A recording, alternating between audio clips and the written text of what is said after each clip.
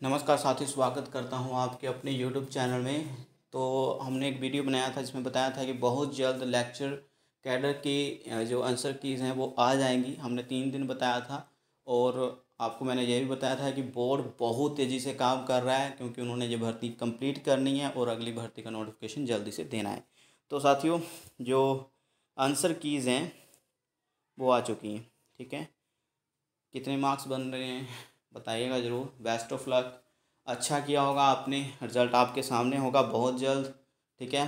और आ, सही से आप अपनी आंसर की जांचिए यही हम कहेंगे ठीक है? और जो भी आपको लगता है कि ऑब्जेक्शन किया जा सकता है और कब ऑब्जेक्शन कर सकते हैं तो इसके बारे में अभी तक अपडेट नहीं आई। जब जब आएगी तो बताएँगे ठीक है?